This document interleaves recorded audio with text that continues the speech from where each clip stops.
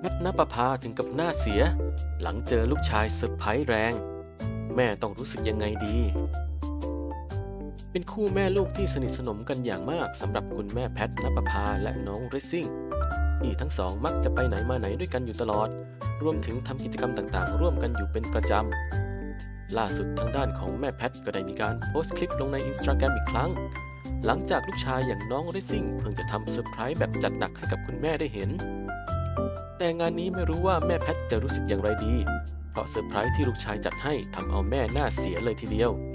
ก็น้องเรซซิ่งเล่นแต่งตัวเป็นหญิงมาให้คุณแม่แพทได้เห็นกันแบบสาวแตกเลยทีเดียว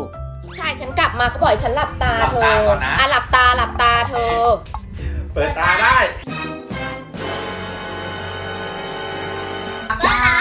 จริงเหรอ เปิดตาได้แล้ว